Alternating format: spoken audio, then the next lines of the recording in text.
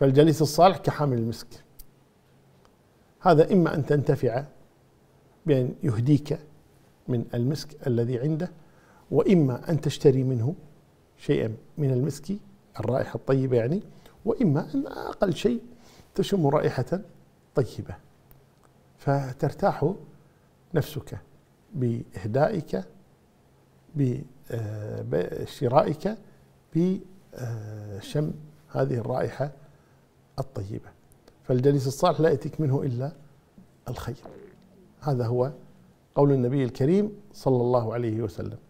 ومن الأشياء التي يحذيك إياها غير طبعا المسك وهذا اللي هي العلم النافع أن ينصحك في دينك أن ينصحك في دنياك أن يرشدك إلى شيء ينفعك.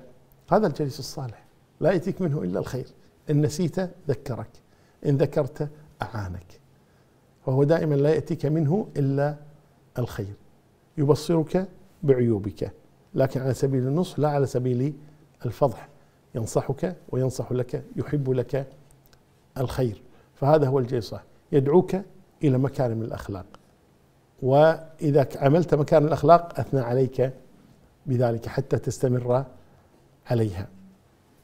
فقوله وفعله وحاله كله يجرك إلى الخير ويدعوك إليه. بعكسه تماما الجليس السيء. يدعوك إلى الشر يمنعك من الخير آه، يفضحك يؤذيك آه، يشك فيك الناس بمصاحبتك آه، له. ما يأتيك منه إلا الشر. نافخ كير. إما أن يحرق ثيابك وإما أن تجد منه رائحة خبيثة. فماذا تستفيد من هذا؟ فالعاقل اذا يتخذ القرار.